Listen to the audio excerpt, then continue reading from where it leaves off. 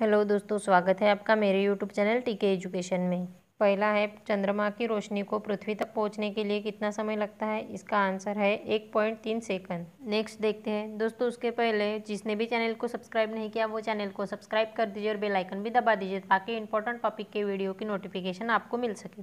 भारत में सबसे पहले सूरज कहाँ निकलता है?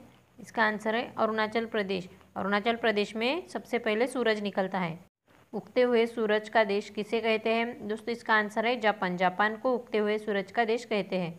सूर्य पृथ्वी से कितना दूर है? दोस्तों ये वेरी वेरी इंपॉर्टेंट प्रश्न है। इसका आंसर है चौदह पॉइंट नौ करोड़ किलोमीटर सूर्य पृथ्वी से दूर है। सूरज किससे मिलकर बना हुआ है? दोस्तों ये वेरी वेरी इंपॉर्टेंट है। हर एग्ज़ाम में आपको ये प्रश्न पूछा जाता है। मोस्ट रिपीटेड प्रश्न है। इसका आंसर है हाइड्रोजन और हीलियम से मिलकर सूरज बना हुआ है। दोस्तों, ऐसे ही इंपॉर्टेंट टॉपिक की वीडियोज़ के लिए चैनल को सब्सक्राइब कर दीजिए और लाइक शेयर करना ना भूलिए। Thank you